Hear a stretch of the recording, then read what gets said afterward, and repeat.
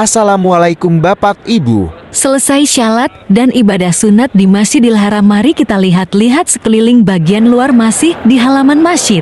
Ini Hotel Tower Zamzam, hotel mewah yang nampak di atasnya ada jam besar. Mari kita coba masuk pada bagian bawahnya. Ada mal tempat penjualan terlengkap dan kota di sini semua malnya nggak pernah tutup atau kadang bukanya 24 jam. Mereka tidak layani aktivitas perdagangan pada saat azan syalat fardu dikumandangkan, namun toko mereka tetap buka.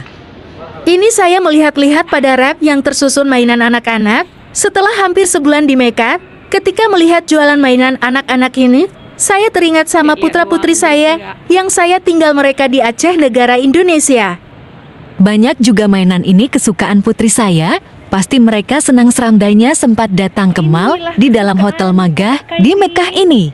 LOL Inilah kesukaan kakak Kairin Batusya yang kecil aja 100 mahal Hah?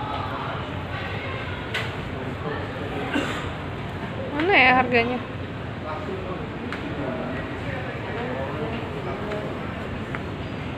Makanan semua sih